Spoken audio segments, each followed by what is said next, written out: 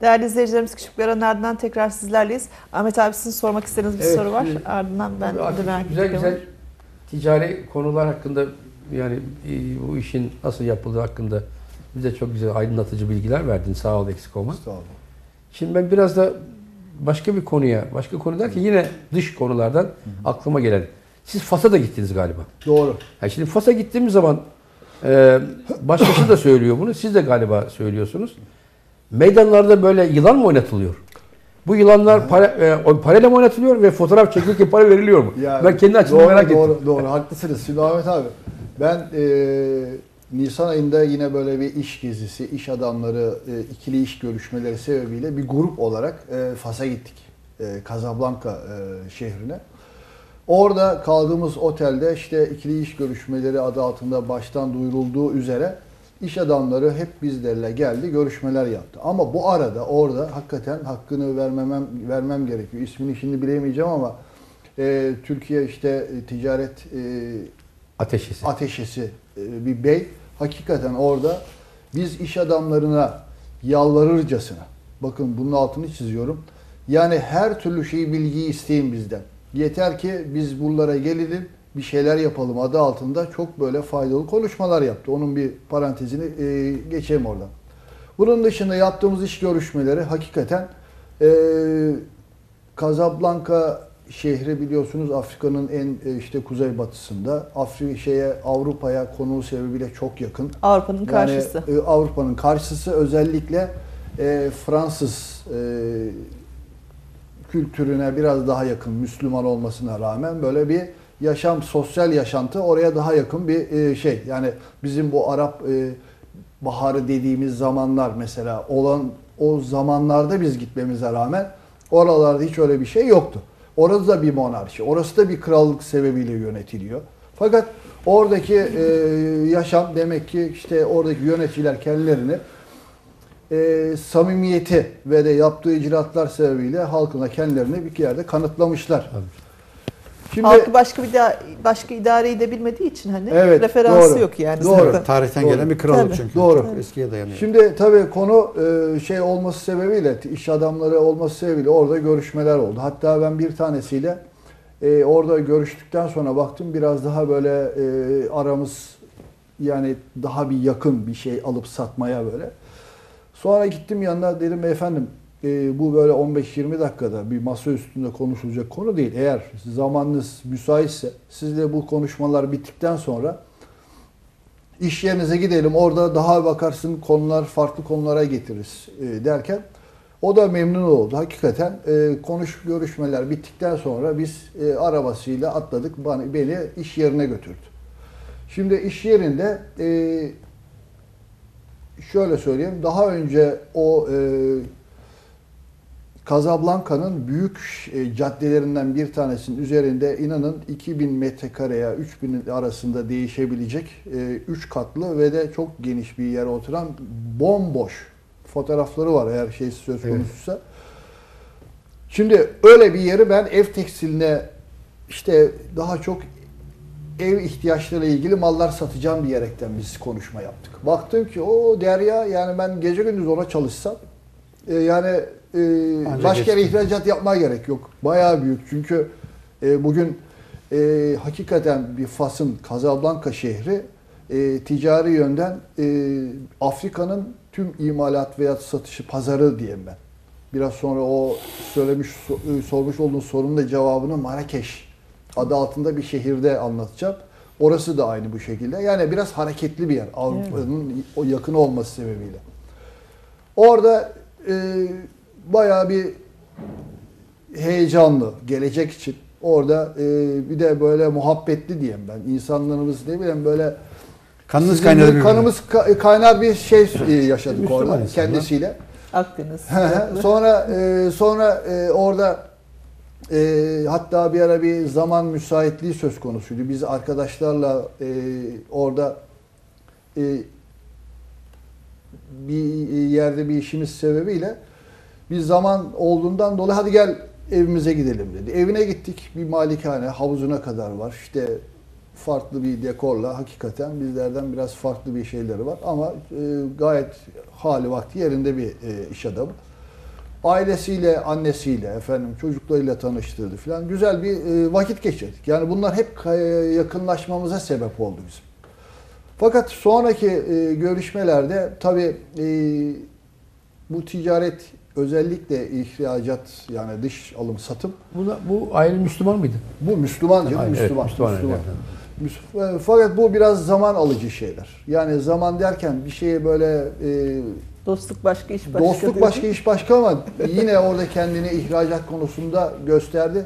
Biraz zaman alacak. Gerçi zaman içinde mailleşiyoruz. Buraya gelecek. E, orada daha iyi böyle görüşme yapacağımızı tahmin ediyorum ben.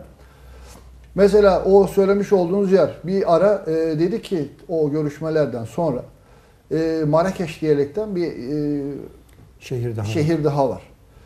E, Otantik olduğu için çok turistik bir yer. çok otantik bir yer. Hakikaten benim dikkatimi şöyle bir şey çekti. Orada 5 yıldızlı otel tabirinde diyebileceğimiz bir Antalya şehri gibi böyle çok sayıda 5 yıldızlı otel var. Evet. Ve hepsinde e, işte o faytonlardan o atlı bizim Balıkesir'de de bir ara olan geçmişte fayton dediğimiz o işte nostaljik at arabaları Orada da var hep onlarla dolaşılıyor. falan. Turistler de Turistler dolaşıyor. onlarla da. Hatta biz de bindik şey olarak da böyle şeyimiz var, anılarımız oldu. Orada e, bütün herkesin toplandığı çok eski zamandan beri, e, eski devirlerden beri aynı e, görevi gören bir pazar yeri var Ahmet abi. O pazar yerinin e, en önemli özelliği bundan işte yıllarca önceki görüntüyü e, insanların kılık kıyafet ve satış sebepleriyle artık orasını bir sembol haline getirmişler. Müze, müze gibi. Müze gibi, yaşayan bir müze. Orada ne var? İşte orada işte e, pazarcıların sattığı e, Eşyalar. eşyaların dışında e, işte yılanlar var. Maymunlar var belki. E, maymunlar var. Ondan sonra bu tür işte mesela ki daha önceki ben e, ayna programında da çıktığını şey yapıyorum. E, Televizyonda izlemişim. gösteriyor şu anda. Evet, görmüş olduğunuz e, görüntü gibi böyle e, yılan oynatıcıları var. Hatta bir ara bir baktım. Şimdi bunlar da tabii bir yerde e, gerçi pek tasvip edilen bir şey değilse de geleni zarar şey e, rahatsız etme açısından gelip boynuna doluyor hemen işte para ver diyor. Ya bir defa o yılanı ya İstiyor bizler böyle Tutmak bir mesele boynuna yir boynuna yani götürür. Soğuk geliyor. bakın şu Yılan mı boynunuzdaki kolyesi? Şimdi onu e, biz de tabii yani bir yerde erkekliğe de şey yaptırmıyoruz. Böyle e, kendimizi aman işte bir an evvel e, işi görüntüsü bitsin de alsın gibilerden şey yapıyoruz. Fakat e, pek böyle e, şey değil. Yani kolay bir şey değil. O e, yılanın İyi- iyi bir şaka değil yani. değil. Şimdi orası hakikaten e, yine tüm Afrika'nın e, bir arada e, bütün mallarının e, ticaret sebebiyle oraya geldiği bir yer. Açık bir pazar. Ha bu sadece onun için mi geliyor? Hayır. Orası aslında Atlas Dağları'nın altında. E, oraya Avrupalı eğer gel- geliyor ise tabii oraya da bir gelmişken uğruyorlar ama esas oranın şeyi Atlas Dağları'ndaki e, karın olması sebebiyle e, işte kayak sporunun yapılması. Sonra e, bu e, Truva e, filmi vardı. O Truva filminin e, stüdyoları yani Orada mı film çekilmiş o setleri, film? Stüdyoları deniz e, tarafına yakın daha batıda o Marrakeş'e göre daha batıda film stüdyolarının olması insanlar oraya da ziyarete geliyorlar. Çünkü o e, Truva filmini ki ben şu anda mesela düşünüyorum. Hakikaten o e, deniz kıyısının şeyi her ne kadar tabii Çanakkale bunun e, yaşandığı yer olsa da ama işte bir Tabii. e, Film icabı orada film çekildi. icabı orada oluyor. Tabii. E, öyle bir şeyi de söz konusu. hani Hollywood'da Casablanca diye bir filmle oranın Tabii. turistik değerini artırıyor tabii, Evet, değil tabii. mi? Yani, Yani- tanıtım filmi. Humphrey Humphrey, Bogart, Humphrey Bogart diye bir Bogart. artist. Ya ya. Evet, Bogart. evet. Doğru söylüyorsun. Ee, evet. Peki Akif'ciğim şimdi e, tabii bunu az çok anladıktan sonra aklıma şey geliyor.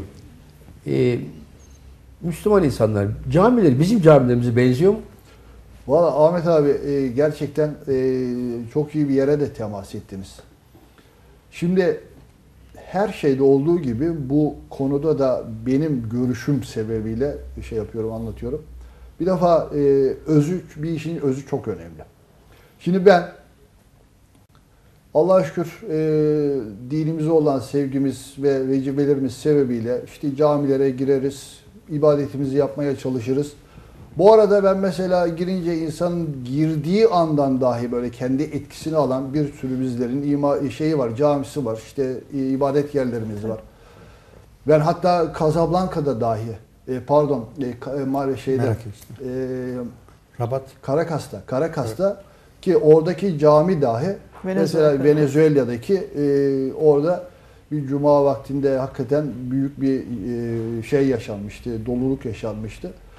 Dışarılarda kılmıştık. Yani oranın bir dahi bir büyüsü vardı. Fakat burada e, güya hani dünyanın en büyük camisi Hasan II Camisi diyerekten bu Casablanca'da hemen denizin kıyısında ki fotoğraf bakın görmüş olduğunuz fotoğrafta Tarihi bir cami tarihi bir Yeni bir cami.